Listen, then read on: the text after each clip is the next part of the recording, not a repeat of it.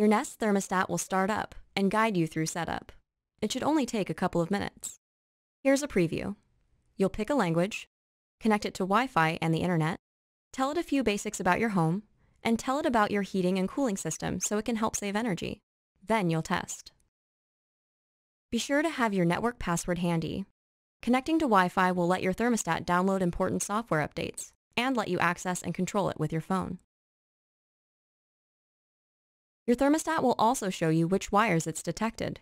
If they match the wires you installed, select Continue.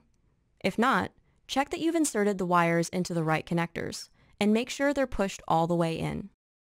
If you need more help, visit our support site.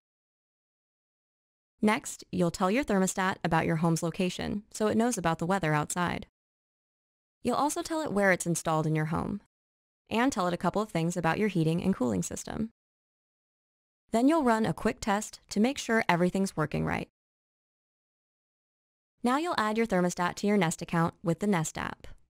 If you don't have a Nest account, go to the Apple App Store or Google Play to download the free Nest app. Launch the app to create an account. If you already have a Nest account, make sure you're using the latest version of the app and sign in. Once you're signed into your account, tap Add. Then choose Nest Thermostat. If you already have a Nest product in your account, go to the Settings menu to add your thermostat. You can skip the next couple of screens since you've already installed it. When you get here, you'll enter a key code. It's easy. Just tap Show Me How. Press your thermostat's ring to get to the menu. Select Settings, then Nest Account.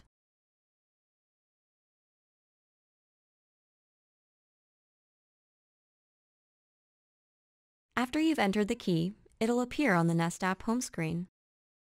Tap on your thermostat to adjust the temperature, change settings, and more. That's it. To learn more about the Nest thermostat and how to use it, go to our support site.